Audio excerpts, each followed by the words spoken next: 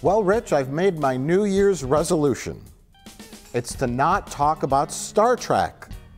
Oh. So, Mike, do you want to talk about Star Trek? Yes. Damn it!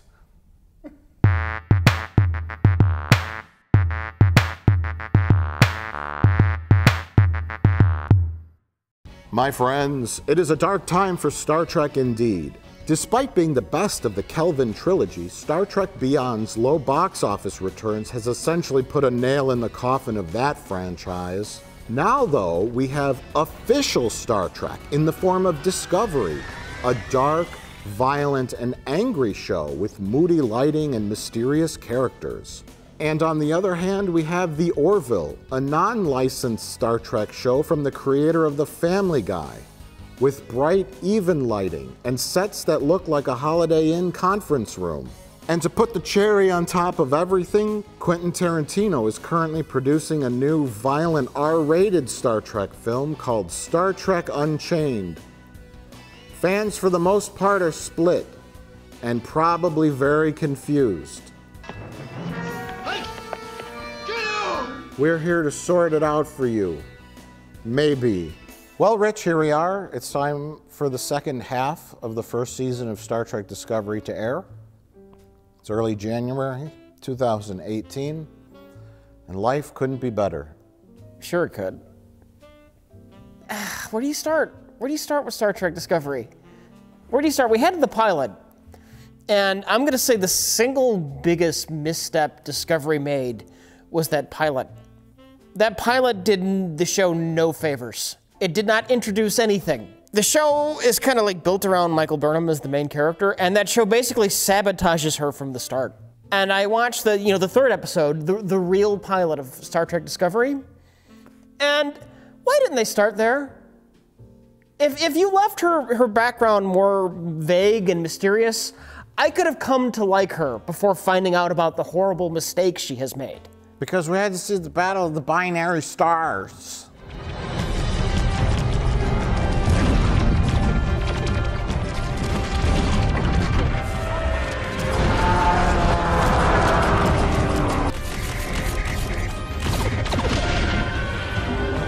Do Star Trek fans give a shit about the Battle of the Binary Stars? Well, that's the thing. I've, I've, I've felt this after watching Star, Star Trek The Last Jedi, or whatever the fuck that movie was called, um, where they, they basically uh, took a giant dump on Star Wars fans. There, there is a, a mode of thinking. People like you and I are, are soon to be obsolete dinosaurs. Yes. We're, we're elderly, uh, we're, we're, we have one foot in the grave, and we long for a simpler time of Star Trek. Uh, the networks know this, the, the movie, movie companies know this when it comes to Star Trek and Star Wars. The Last Jedi killed off Luke Skywalker, it took a dump on everything. It made Yoda dance in, in a bikini bottom. it did everything to, to tell you that, hey, hey, Grandpa, you, you ain't getting no more Skywalker, Yoda, Darth Vader crap. We're throwing all that in the garbage and we're moving on. And I think that's kind of what Discovery has done. Because y- you look at it from the perspective of the Star Trek fans, Yeah. uh, and as do I. Uh, but I can also see it from a different perspective of, I mean, this is a lot of reiteration of, of what we said before of, Yeah. of modern day television. Um, and, and we'll get into that. And that is also my problem with the Orville. And we're going to get into that. But first, let's talk quickly about the critical to, to fan disparagement in reviews. Discovery sits at an 82% uh, critical approval and a 56% fan approval. The Orville is basically the polar opposite 20% uh, critical, 93% Isn't that fan rating. interesting? It is very interesting, yeah. And why do you think that is? I don't know. I I try. I try my best to divorce Discovery from the idea of Star Trek. And to me, Star Trek, it's this, it's this beautiful idea where humanity has prospered and the, you, you know the great unknowns of space. And wouldn't it be amazing to go out into space and all of the wonders we could find out there? What's it? What's there? And Discovery doesn't give a shit about any of that. And it's like it. Star Trek Discovery does not give a shit about what the heart of Star Trek is to me. And I got to imagine most of these reviews aren't reviews from Star Trek fans. there's there's a camp that says you know you've got to do something different and watching discovery i'm watching it and i'm like this is not like star trek i've seen before and part of me says that's refreshing the other part longs for the simple one and done episodes Engage. and i think i think fans are upset because you've dismantled the legacy I think that they would be happy going in a new direction and doing fresh stuff as long as you retain that legacy. I think That's what I don't get hung up about. Like, a fan might complain about like holographic communication in Discovery, and I, I don't give a shit about that. Okay. I, I give a shit about the heart of the idea. It's, Star Trek is about discovering things. It's about exploring the unknown. It's about it's about your imagination because you look up into those stars and you do wonder what's out there. At least I do. I'm not getting that from Discovery. I'm getting a dour war drama, and I'm getting broken people who are wallowing in the fact that they're broken. Uh, if I could make a counterpoint, we did discover what's out there. What's way out there in Star Trek Voyager. And it's a lot of people with, with a couple of bumps on their face. I'm just saying. Oh yeah, Uh, it's, it, it, it's a lot of rehash and it's a lot of um, things getting stale. Uh, there, there are a lot of things in, in Voyager that I like, a lot of new ideas. Uh, let's say that, new ideas. Okay. Storylines. And that's my problem with the Orville. I love the Orville so much that I can't watch it. I the the Orville. It's not perfect. It's not perfect, but it gives me the warm, happy feels. If I, if I, here's the major difference between each show. Okay, I watch Star Trek Discovery and I feel worse. I feel worse about myself. I feel worse about where I am in life. I watch the Orville and it's like, ah, that was fun. It was. It's kind of like diet fun. It's like the Orville. They, they they want to desperately be Star Trek, but there's something missing. One, it feels like Seth MacFarlane playing TNG. That's exactly what it is. Who doesn't want to play TNG? Uh, you're rich enough, you have enough influence, you have the money.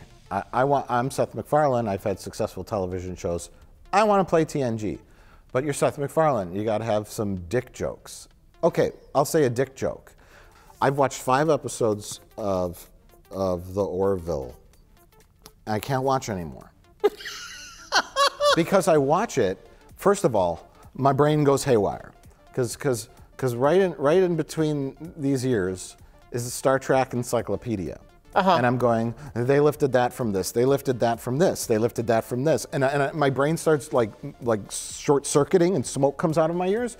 Um, and then I'm like, wait, stop. Just enjoy the show. And I was like, okay, I'm enjoying the show. These are all recycled ideas. That's fine. And I have a list of them. The cage. The cage. Wait, let me stop you. Uh, um, hold on. Hold on, everybody. Uh, uh, you know what it was? It was it was Star Trek: The Motion Picture when they go into the shuttlecraft and they they tour the Orville on the captain's first visit to the ship. Yes, yes. That's Star Trek: The Motion Picture. Yes, yes. Uh, uh, oh, a space ray that speeds up time, uh, and and and and uh, the episode when Star Trek, d- d- the, the the next generation characters get on board a runabout for the one and only time, and and they encounter pockets of space that time accelerates or slows down when Deanna Troi freezes, and then Captain Picard goes to grab all the rotten fruit, and his fingernails grow real long. Yeah. And then there was, whoa, like, okay, uh, recycle ideas, but then, that, I mean, that one's fine.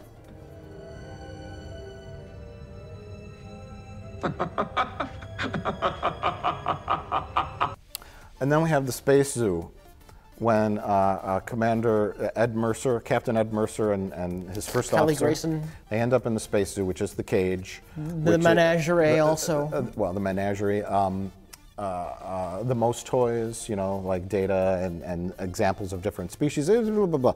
And then I think the biggest one, the one that's just like, uh, uh, was the, the big, the big eco ship, right? That was lifted directly from the original series. Right. It- Directly. the episode is called For the World is Hollow and I Have Touched the Sky, where there's an asteroid. There's an ecosystem inside the asteroid, and nobody knows they're not on a planet and they're hurtling towards doom.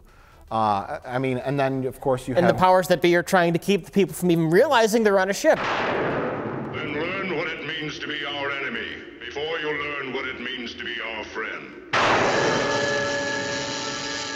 guardian of the word of Dorahl. He makes all law. You are living inside a hollow ball. Your entire world is a massive biovessel adrift in space, and in less than six months, it's going to be sucked into the gravity well of a star. Because a flaw developed in the controls. And unless we correct it, Yonada will kill millions of people and destroy a world it doesn't even know. This is what we wanted you to see.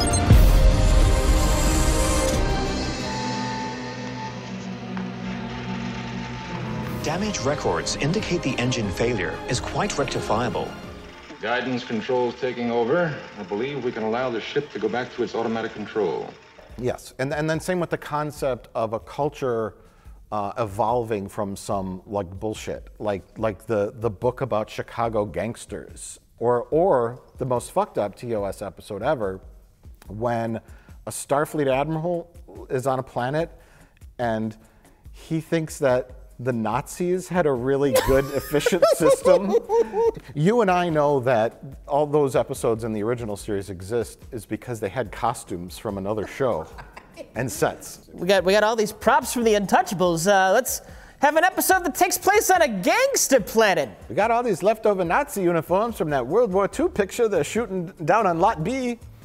Uh, this guy wants to have a Nazi planet. We got this haunted house set. Let's make cat's paw. There's a giant cat.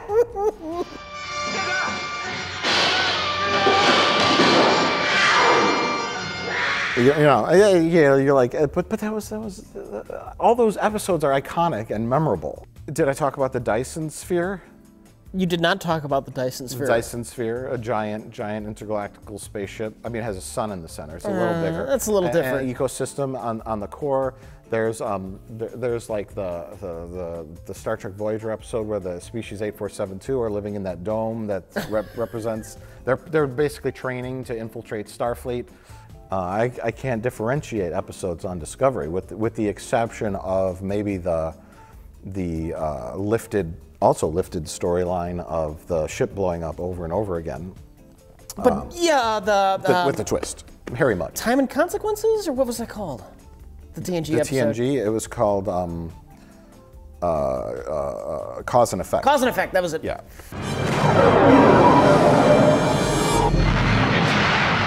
Core shutdown is unsuccessful.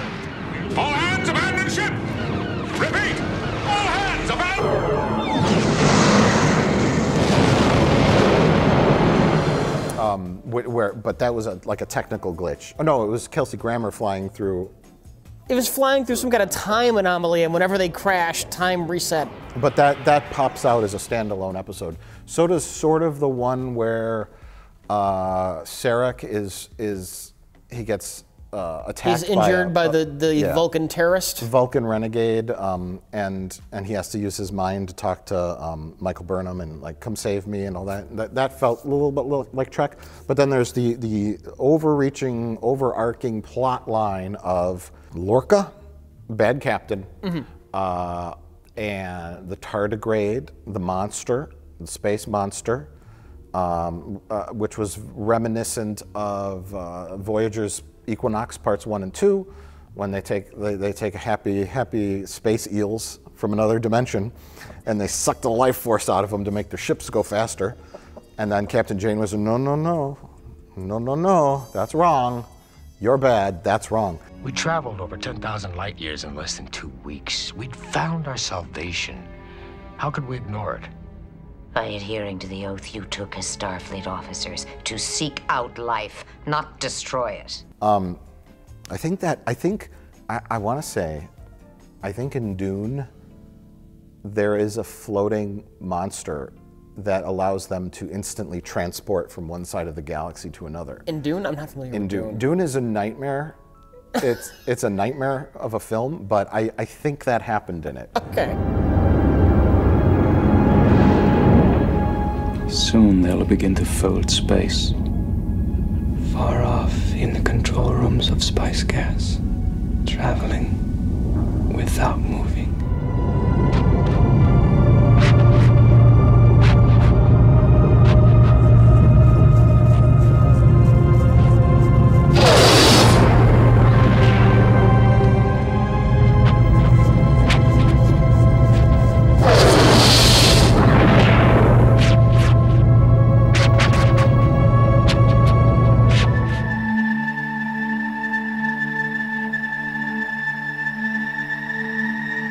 I'm not, I'm not suggesting that they stole ideas. I mean, ideas come from other ideas. Come Oh, sure, Every, sure. Everything's connected, especially with Star Trek. There's such a history of Star Trek. where There's so many, so many things happening. Fucking 60 years. Which is why when I watch uh, uh, the Orville, and, the, and the, I think one of the more recent episodes I watched with the Orville, it starts off with their android Isaac. Yeah. Who I assume is named after Isaac Asimov.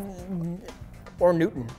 I thought Newton, but Isaac- because it probably it's probably Asimov wrote I Because Robot. he did science fiction. Right, Yeah, yeah. right. So and what, it doesn't matter. They're watching Seinfeld, and then you know there's the joke on Seinfeld about them dropping a junior mint into the p- person in the operating theater. Yeah. And uh, the robot's like, "What is humor?" And then, well, humor's funny. It's, it's it's funny. I don't understand the concept of humor. I'm like, I've seen all this shit before with data. I'm an android. Well then, have you seen any good-looking computers lately? That's a joke. It's funny. Huh. Of course it is. Guy walks into the doctor's office. The doctor tells him you need an operation. The guy says, I want a second opinion. The doctor says, okay, you're ugly too, but oh, boom, boom. People watching the Orville are probably like, "Hey, this, this this is great television." I'm like, "This is all recycled ideas. It's all recycled ideas put in different forms." Yes. So are we supposed to care about about what exactly? There, there, there was one joke that I laughed out loud in, right? The one where Charlize Theron guest stars as Vosh, the female love interest of the captain, who's secretly up to no good. I've seen that before. She's, she's up to some time travel theft, much like Max Headroom in The Next Generation, his episode. Yep, yep. Where I come from, every historian knows the bridge of old 1701D. he's going he's from the past and he's going to the next gen time to steal technology Why have you stolen these objects? To put in a museum? Oh, far too valuable for that. You see, in the century I come from, they haven't even been invented yet. She was from the future to steal ancient technology to sell in the future Right. as relics. yes um, so yeah again uh, my brain is smoking from all I the know you are. I, th- I've never seen you like this. well it's it's it's infuriating because i'm watching it and uh, even the Bortus episode with like that, that was the first one where they tried a next gen one where it's like Blatantly, uh, like just they, the jokes disappeared that episode. Yeah, yes, yes. They didn't even try anymore. Bortus and his male uh, partner have a kid, and it's a girl, and there's the moral dilemma because their culture, they uh, sex change. Uh, girls are like one in a million, and Yeah. when they're born, they're, they're considered like a, a freak. Yeah. So they change them because they have an all male society and they lay eggs. And so humans are, of course, we're like, you, you're going to change the sex of the baby without letting it decide. And Mm-hmm. it's like the Worf, uh, Worf's spinal cord, you know, I want to die. Or uh, Half Life, um, where Lwaxana Troi falls in love with, with the old man, and he's going to turn 60. And, and their culture's like, you got to kill yourself. Oh. Once you turn 60, it's like, I have so much scientific work to finish. When a person on this benighted little planet reaches the age of 60, which Timothy is about to do, they're expected to simply kill themselves. Did you know that? Hey, just kill yourself. And she's like, why does he have to kill himself? I was It thinking, I was thinking the Outcast episode. Well, where- that too. Where where uh, Commander Riker fell in love with the, the gender neutral the person, genderless person, who identified as being female, but the society was upset with that because they weren't supposed to have genders, and so there was a trial where they forced her to not be a female. Take Soren to quarters. Treatment will begin tomorrow. Don't do this. Soren! It's that episode. It's Okay. just it's just that episode. Um, and Only then it's not a baby; it's an adult. recycled ideas in all caps, bold print, Yeah. underlined. That's fine. But then you have like characters that are like like Ed Mercer, the captain, and you're like, eh, and, and he's like, I laughed at one point. Like Star Trek can have humor, Mhm. right? It, it, it needs to be mostly serious with little spikes of humor. And when they were going to sneak into Charlize Theron's room to, to snoop around, and then uh, Kelly Grayson, the first officer, she's like, I'm a first officer. You know, I, I, I do this by authority and, and respect, and, and I don't mess around. Hard cut to her hitting the thing. She Yeah. goes, housekeeping. And I, I giggled. Yeah. It's cute. Yeah. It's cute in context. But then it's like, it feels like it needs to say, they need to say, well, that, that guy's a dick. Like, isn't it funny that they're Well, saying here's dick? like a lot of the humor in the show. It feels so consciously tacked on because Seth MacFarlane, this is his Star Trek fanfic, and they make an episode, and then it's I, I get a feeling it's like, oh shit, that's right. I sold this to Fox as a comedy. Uh, insert joke, insert joke, insert joke. Yeah. Because none of them, they all feel out of place and tacked on. And that's why it's it does give you that warm fuzzy feeling of a TNG episode. You know, it cuts to the opening, the ship's flying by, and then some inane thing before the main plot happens, and then you know it is same exact structure as a TNG episode, one and done. Everyone's everyone's back to where they started at the beginning, and you're watching it, and to me, it's like it's when when I was watching it, I decided I made the conscious decision I can't watch anymore because it's like it's like looking at a picture of your favorite meal. You know what I mean? You know what I mean? It's like, oh, you know, that's great, but I can only look at the picture of it. I, I can't taste it and I can't eat it. See, I, I contrast that to Star Trek Discovery, where like I ordered uh, chicken parmesan, and the waiter brings me a Salisbury steak.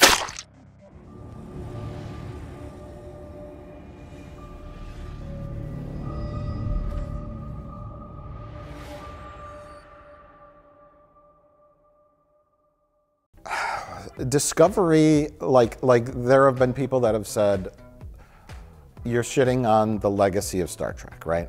It doesn't make any sense. Th- How did this take place 10 years before Kirk and Spock? People say that stuff, Yeah, right? I know they do. I And I know you want just story and you want nice episodes and all that, but th- you're talking 50, 60 years of Star Trek. Mhm. People say, how does this happen before Kirk and Spock? Because they want to know that all their characters and all their storylines are okay, that they're intact. Somewhere out there is Picard. Uh, drinking drinking wine on the Chateau Picard uh, in retirement. Riker's flying around with Troi on, on the USS Titan. Data's Data's in pieces, floating in space. Uh, you know, everyone's e- everyone, and all and all of their stories and Happened. adventures happened. Even if even if it doesn't matter, and you could say, well, they happened. Yeah, they're all on on Blu-ray, and you can go watch them. Go watch them. They're still there, but we're doing this thing now. But but it's that mindset where they say, we want to know that they happened. And when Discovery comes around and says, this is 10 years before Kirk and Spock, before like the terrible buttons and knobs, and and Uh, and, and people are like, no, we just don't believe that. We just think you don't care. Let's give them a little taste of what the Discovery's capable of. The ending of the first half of season one was pretty exciting to me. I, I enjoyed it because it's like they have this plan and they have to do 127 jumps to do this thing, and you know it was exciting in a in a in a Star Wars way. Yeah. Star Trek Discovery is more Star Wars Oh, I know. than Star Wars It's, was. it's a space opera. The flat out the confrontation between Michael Burnham at the sword fight Yeah. with the Klingon Emperor. Yes. That's not. That's just straight up space opera. Star Trek Discovery is now Star Wars. And Star Trek is the Orville. That's Star Trek is the Orville. Uh, so uh, yeah, so I'm, I'm enjoying Discovery in a way that I would enjoy Star Wars. Mr. S- Mr. Stamets is is in, in, in the glass chamber and he's he's ah, and the the Discovery's going. And I was like, you just, yeah, all right, this takes place 10 years before Kirk and Spock. Hard to port, Detmer, Mr. Rhys. Lock on the bird of prey targeting Gagarin.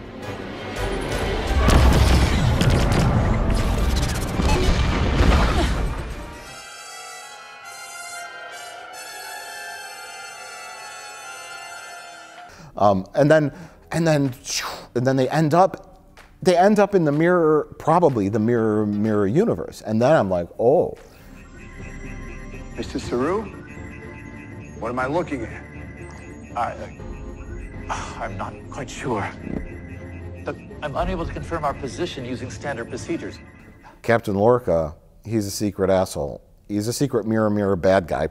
Captain, this can't be rushed. Now you listen to me, Mr. Stamets. They need us now. He tells a story about how he took a life a lifeboat and escaped the starship and blew up his whole crew so they didn't suffer the indignity of being captured by the Klingons. I mean, what? He He's you, you- you're saying he's a, a mirror universe double agent? I don't know. They get into the mirror universe in Enterprise because towards the end, I think the last season, they have like a, a Constitution class ship that's Yeah. flying around, and it's well, like, it's the ship that in what what it's, episode the- of it's called the Defiant. from the original series The- that vanished? Yes, yes. Um, uh, the Tholian Web Yeah. episode, I believe, when, when the Defiant vanishes um, and then Kirk's floating around in the space in the spacesuit. Um, and then yeah, so that ends up in the end of Enterprise, and they're like, we got this badass spaceship. Weapons are online. Destroy them!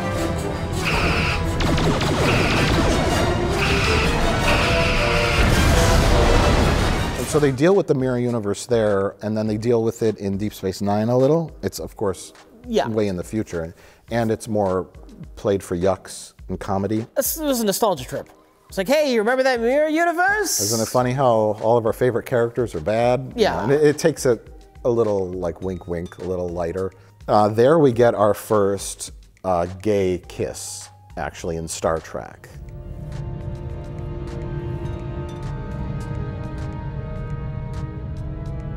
Uh-oh. Discovery can't take credit for that. Between Evil Kira and, and Dax, and, um, and yeah, and, and she was like a like a like a sleazy sex sex pervert, and Worf was like a moron who was in charge of, of everything. And I think it was heavily implied that uh, um, Chief O'Brien and the Doctor were gay lovers because he kept calling him by like a nickname, like like like Honey Bear or, or Honey Pie or. In fact, he might have us in his sights right now, and we wouldn't even know it. Don't start getting paranoid, Smiley. Even if the Regent has the cloaking device, chances are it isn't functional yet. I hope you're right. You know, Star Trek, Star Trek, for all of its uh, uh, touting of, of progressivism and, and all that, really wasn't that progressive. It took it took extreme baby steps. But it takes it took. I give them credit for taking the steps, but yeah, they were, they, women were just second-class citizens in the original series. Perhaps you can explain to her that any career she hopes for in Starfleet requires discipline and cooperation. Well, I'm sure that's what the lieutenant wants. She just didn't understand. Did you know, lass? I remember. I don't remember what episode it was, but but Kirk and Bones were talking about some female ensign, like, yeah, she'll be gone when she finds a man. Yeah. They always do. Well, there was the the one I, I want to say it was the Lights of Zetar, where there there's there's like a female officer and I didn't think Mr. Scott would go for the brainy type. I don't think he's even noticed she has a brain. they had to put her in like the compression tank to like get get the the badness out of her, and the whole episode they kept call her, calling her the girl, like the, the the girl can't stand that pressure, and um, Well, how about how about Turnabout Intruder? oh yeah. Where Kirk gets possessed by a woman, and because Kirk's possessed by a woman, she can't handle the Enterprise because you know she's a girl. You will obey my orders. You will be charged with mutiny. You will obey my orders or. She's bitchy. She's bitchy and, and erratic and emotional. Uh, but even normal Kirk, who's in the woman's body, is still useless because he's in a woman's body. right. so having any taint of womanless womanness just makes you horribly incompetent in the original series. And they fully admit that women were not allowed to be Star Starfleet captains. I never stopped you from going on with your space work. Your world of starship captains doesn't admit women. Yeah, yeah. And then 10 years ago, though, we had 25 female captains, apparently. But yeah, the, the, so the, the first gay kiss was in Deep Space Nine, technically. The first interracial kiss was uh, in the original series. Yeah. But It was forced by an alien. Yeah. Um, so we, we have we have a white guy captain, Uh-huh. uh, followed by white guy captain and white guy first officer. Then we're like, okay, enough with the white guys. We'll have a black guy in charge. But he can't be a captain. He's got to start off as a commander. Um, and, then, and then the season five comes around, four or five. Uh, Okay, you could be a captain, but it's just this little ship. And then we're gonna have a lady, but you can't be a black lady or a Latina or a Chinese lady. It's gotta be a white lady. So it's like it's like they're hedging their bets. They're like a little half measures. We're gonna have a lady, but uh, it's gonna be a white lady. Um, and then back to the white guy. Although they did have they did have some some people of color in uh, in Star Trek IV, The Voyage Home. Yellow alert. Shields up. Helm, reduce closing speed. They're like they're like black female captain, uh, Indian man captain. They threw some, bu- but all their ships got power, powered down by the giant space sausage. they did they did say fuck for the first time in Star Trek, I believe. That's edgy. It's pretty edgy. One that understands its role in this process and engages willingly. You guys, this is so cool. so sorry. No, cadet. It is cool. Are, are you okay? I think I'm all right. I wish that Discovery and the Orville could, could combine their forces, come together to produce a show called Star Trek. Was that funny? No. Discovery is just, it's very serious, very cinematic, very dark. Uh, I can't tell if it's if it's underwritten or overwritten, um, because a lot of times you're like, okay, that's all that happened in this episode, and then a lot of times you're like, what? They did that. So and then and then you have the the Orville, which has the comfy, warm feeling of a Star Trek Oh, yeah. blanket, but at the same time, I can't take the characters seriously, and it feels like rehashing of ideas. I think the Orville's got some good characters. I mean, they're okay. They're they're fine characters. They just don't fit. It, you know what it is? It's it's when I watch TNG, a lot of times my brain would long for like like the way that that real people would kind of respond to situations, which is why I gravitated towards characters like Barclay Mhm. or um, I want to say that early on they, they tried out a character around the time the Borg showed up. Her name I was like have that in my notes. That ensign who so- spills the coffee on Picard. Oh, no! Oh, I'm sorry. Oh, Captain. Oh, Ensign Sonia Gomez. Gomez, Sonia Gomez, Yeah. or some, something like that. Yeah. And she's like, I'm just so excited to be here. And yeah, she spills coffee on Picard. And and so you and then you have Crusher and, and Geordi. And, and a lot of them are just boring. So you're like, why, why aren't some of these Star Trek characters in like the next gen? And why don't they say like these these funny lines here and there like they do in the Orville? Like normal people would ro- Uh-huh, respond to uh-huh. situations like, oh Jesus Christ, and now this is happening. But but they're all very regimented. And it's because Starfleet is a military organization. Yeah. By the book, by the numbers. By they're very they're, they adhere to rules. It's a pseudo military organization. The Orville feels like I like Star Trek, and wouldn't it be nice if me and my friends were hanging out in Star Trek? yeah, it's fan fiction essentially. Yeah. and it's not fun watching someone else's fan fiction. I like when I like when TNG characters get quippy. You know, there's Mhm. the, the scene when Guinan gives Worf prune juice. You know, Mhm. and he's just like, "What is this? This is excellent." You see? It's an earth drink. Prune juice. Warriors drink. You know, and then we all chuckle.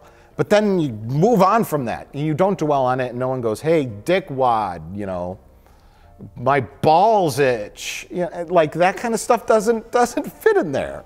And so it's like it's like, oh, it's frustrating. How do you, on the opposite end though, how do you feel about the Star Trek Discovery characters? I get, I get nothing out of most of those characters. Michael Burnham's a mope. Uh, the captain, he's, he's kind of interesting, but he's also an asshole. uh, Lieutenant Love interest is just a complete fucking waste of space. To, to Ash Tyler. Ash Tyler, love interest, who's going to die before the series is over, mark my words, because they've spent no time actually developing an actual character for him. Well, he, see, that's the thing though, is like, like long form TV drama, there's a lot of things that you don't know. Here's Quark. He's he's he's the witty bartender. He's a little shady, uh, but in the end, he does the right thing. Yeah. You know. Here's Odo. He's he's he's an asshole. You have your characters, and they're they're they're solid and, and they're set up. Discovery, a lot of them are are yet to be determined or mysterious, which can be frustrating in the short term.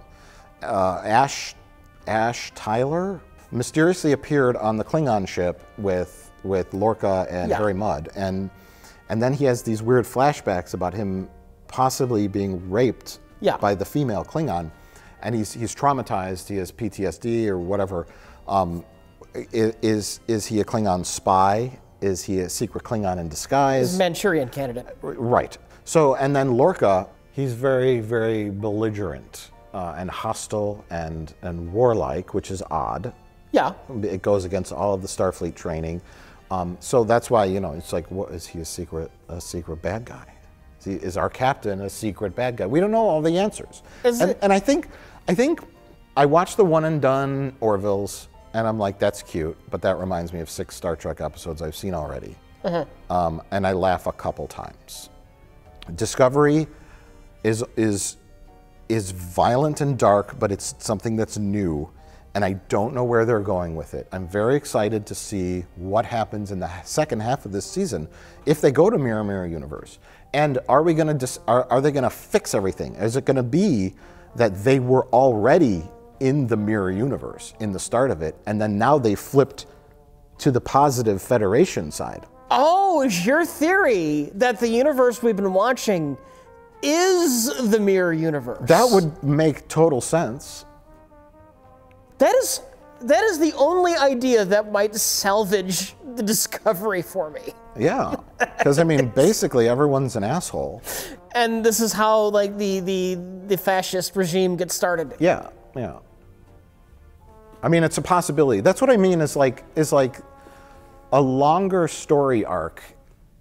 that oh, would actually be a good twist. Don't get too excited. They're not going to do that. I'm just saying that would be a good twist. That would be. We start off in the mirror universe. We don't tell the fans, and they and half of them go, "This sucks. Everyone's so violent, and the captain's an asshole." But then it's like they flip over, and then and then here comes a, a Constitution class ship. It says Captain Christopher Pike of the Starship Enterprise. That would be insane. What basically what I'm saying is I'm okay with being done with the one and done plot lines, and I'm okay with the long form storytelling because I've enjoyed many TV shows over the past few years that you cannot pluck an episode out of the middle and just Yeah. watch it. You know, Yeah. I can list 25 shows, and that's the way TV is now. Um, and so I'm fine with that style as long as it's well written and, and good and exciting. And so far it is. But yes, they really have to hit it home at the end of this season. They've got to hit a home run and they've got to sell it to me a little more. I'm gonna tell you something. I have already canceled my CBS All Access. I wasn't I wasn't interested enough at the halfway point to keep it going. Even even divorcing it from Star Trek currently, there's not enough for me to stick around. As just a generic serialized science fiction Star Warsy show in space. I don't know. I'm, I'm okay with the characters so far. I, I I want them to have good conclusions, good arcs, and I want them to I want to see them developed more over time. Mhm. And that's the thing is like when I said, here's Quark, he's our bartender, he's shady, but Sure. he does the right thing. We know that right away. Not much room for growth. But when you have characters that that that you're discovering, no pun intended, over over a whole season and plus, I think that's all right, and I think it's different. Yeah. Um, so to me, it's like, yeah, Star Trek has forked in the road, and it's like, ugh. And if I had to choose a path, I'd have to go Discovery, just because I prefer Star Trek to be taking itself seriously than it than really bad attempts at humor and recycling plot lines because it just seems like it seems like a shame. It seems like a waste. And and interestingly enough, like people like Jonathan Frakes um, and others have worked on both Yeah. shows. And Jonathan Frakes is like, "Eh, Discovery, it's darker. It's it's more it's more like the Abrams movies." And Orville, it's it's kind of like TNG, but it, they say dick in it. he's, he's just like, "I'm the guy. I'm a guy, and here's here's." Well, that's I mean- highly that's a somewhat highly accurate statement. That could have been this whole video, just us saying those that those two sentences, because that's what it is. But it's incredibly frustrating. Well, you you put your lot in. If you had to choose, you'd go with Discovery. I would go with the Orville. I I will point to the Next Gen season one, and and that felt like there were some episodes that that felt like the original series reject episodes that they Sure. made with this cast, and it, Sure. it didn't fit. And and you know what? They they tinkered with it in season two, and they made it work. I I'm holding out hope that the Orville can do some tinkering, and season two will be an improvement.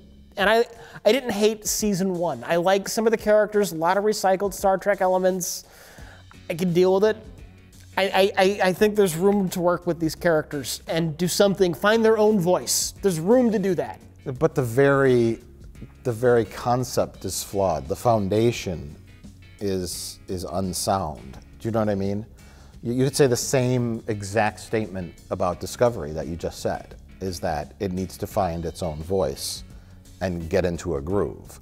But when you have you cannot take a show where season one where they make dick and fart jokes and kind of turn it into the next generation over a couple seasons because you're always going to go back and have dick and fart jokes. You know what I mean? And both shows are, are off to season two. Both have been renewed. They've they've found They their fan renewed. base. They renewed Discovery. Mm-hmm. If if I hear that something crazy and exciting happened, I'll renew that CBS All Access. Okay. No, the the, the just thinking about the Discovery episode where you know they have the plant planet, Mm. sentient plant planet that wants to create harmony between the Klingons and the Federation, and so it.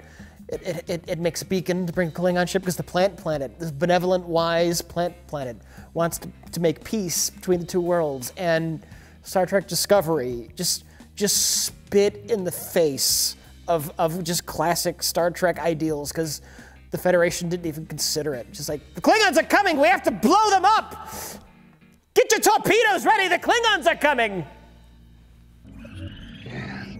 Fire.